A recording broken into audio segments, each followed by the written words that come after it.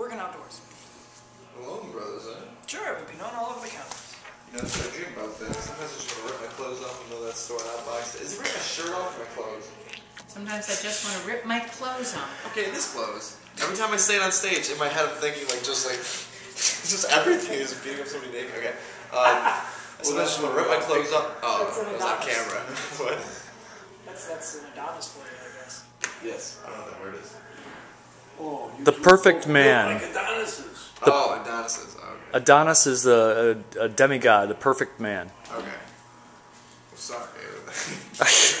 Alright, um, And you're in I just theater. wanna rip my Come on. off.